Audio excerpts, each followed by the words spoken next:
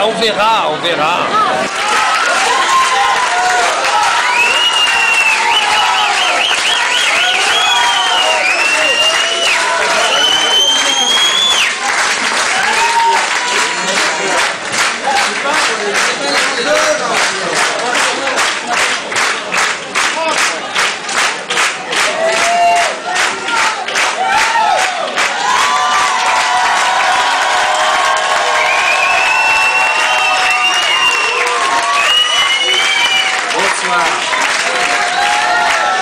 Écoutez,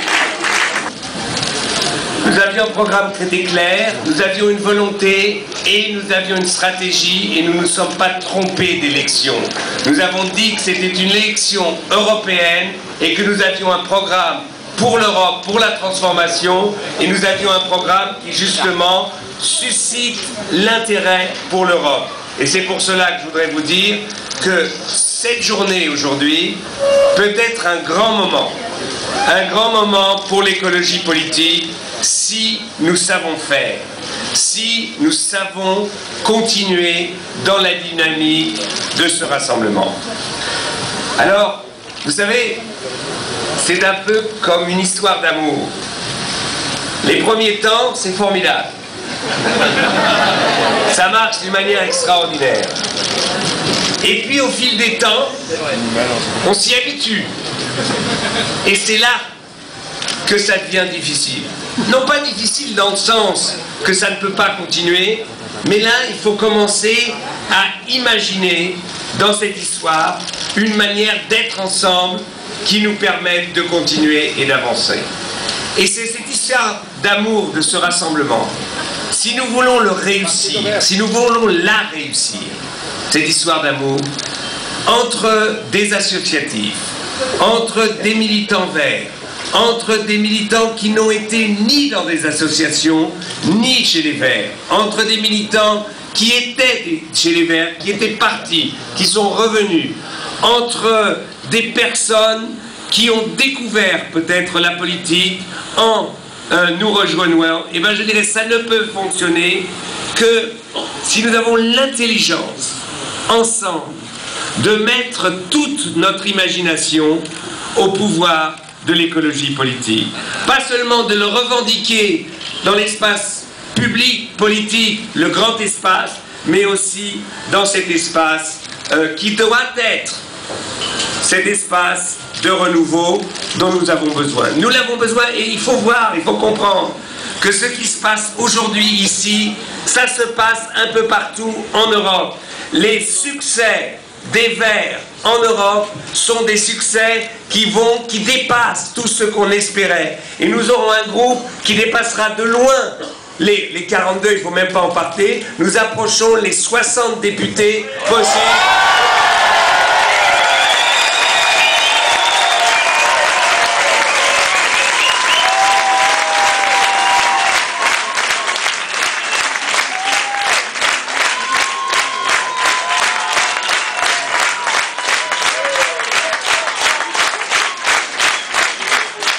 Je crois que cela veut dire que ça ne... ça-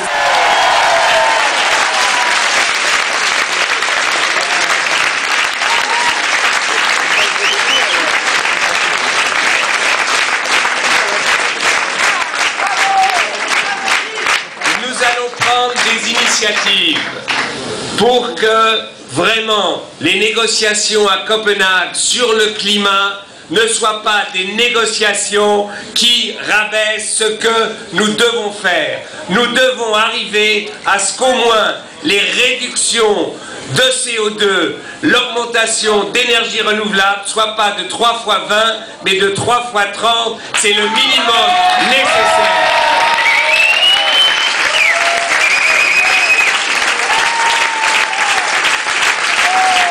Et c'est pour cela que nous allons reprendre l'initiative de José Bové d'une mobilisation d'un nouveau genre pour cette réunion au sommet à Copenhague. Nous allons essayer de mobiliser des militants de toute l'Europe, non pas pour empêcher cette réunion sur le climat, mais pour leur dire vous ne sortirez que si vous avez un résultat à la hauteur des nécessités.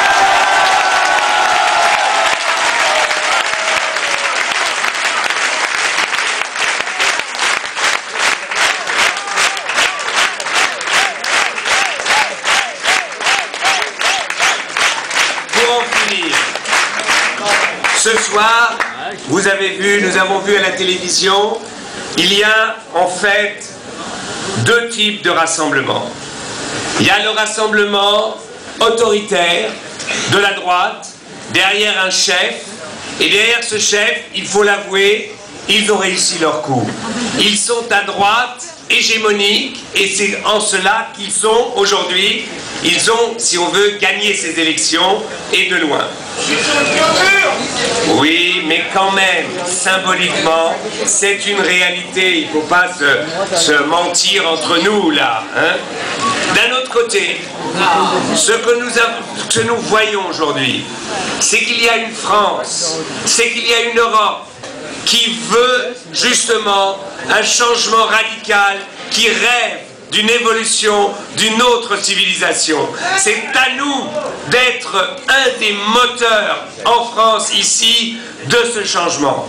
C'est pour cela qu'il faut arrêter de penser la politique en coalition traditionnelle.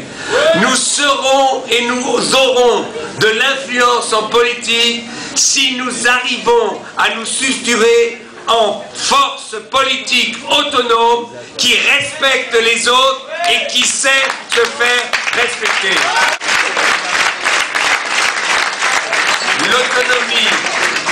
De l'écologie politique est la condition sine qua non de notre capacité à rassembler pour créer une majorité capable de faire avancer la transformation écologique nécessaire en France, nécessaire en Europe.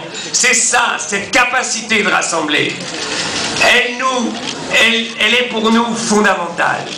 Mais rassembler veut dire accepter les différents.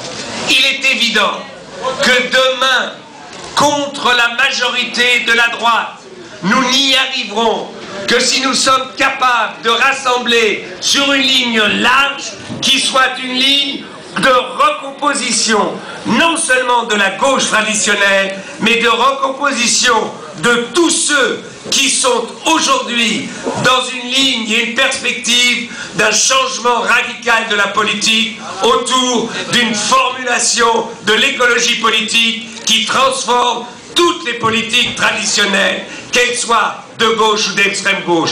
Oui, nous reprenons à notre compte toute une partie de l'histoire du mouvement ouvrier. Oui, nous reprenons à notre compte toute une partie de l'histoire fantastique de la gauche, mais en même temps, nous reprenons à notre compte toutes les critiques qui ont été menées à la gauche, parce que quand la gauche a été radicalement de gauche, elle a souvent été aussi radicalement productiviste.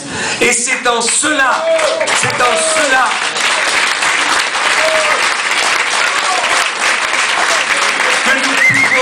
jouer un rôle charnière dans cette recomposition de la politique en France. Nous allons commencer au Parlement européen. Nous allons continuer ici en France. C'est pour cela que, je ne sais pas si ça a déjà été proposé, que nous allons faire début juillet une réunion festive et bilan d'Europe Écologie. Nous allons tous nous retrouver à l'université d'été des Verts cet été pour lancer une convention où les États généraux, on peut l'appeler comme on veut, de l'écologie politique pour nous permettre d'affronter non seulement les prochaines échéances électorales, mais d'affronter aussi la réalité politique de ce pays. La réalité politique, ce ne sont pas simplement les élections.